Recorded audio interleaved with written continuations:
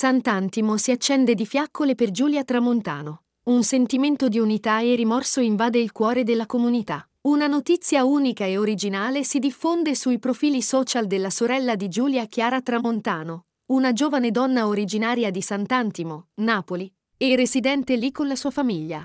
La tragica scomparsa di Giulia per mano del suo fidanzato ha scosso profondamente il paese, portando a un gesto collettivo di commemorazione. Centinaia di persone hanno partecipato a una toccante fiaccolata organizzata dalla sorella di Giulia, che ha voluto onorare la memoria della cara defunta.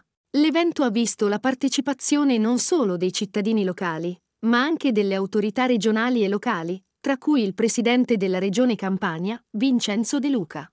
La folla commossa si è diretta verso la casa dei familiari di Giulia, dove essa stessa risiedeva quando si trovava a Sant'Antimo. Sotto l'abitazione sono stati deposti mazzi di fiori e messaggi in ricordo della giovane Tramontano. Questi gesti commoventi hanno fatto il giro di tutta Italia, rivelando l'apprensione che questo tragico evento ha suscitato nell'intera nazione.